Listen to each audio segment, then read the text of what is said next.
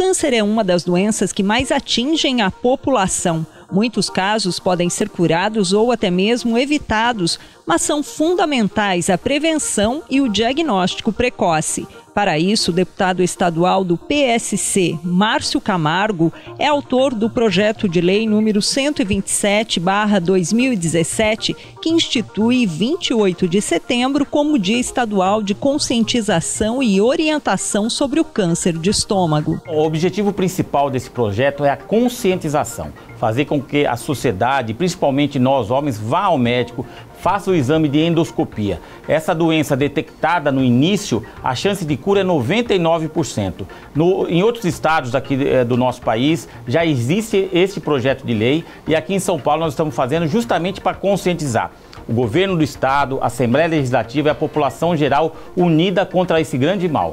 Segundo estimativas do INCA, por ano o câncer de estômago atinge mais de 23 mil pessoas. É o quarto mais incidente nos homens, podendo chegar a 12.920 casos, e o sexto nas mulheres, com 7.600 casos. Com projetos importantes como este, o deputado Márcio Camargo mostra um trabalho de cidadania e consciência junto à população.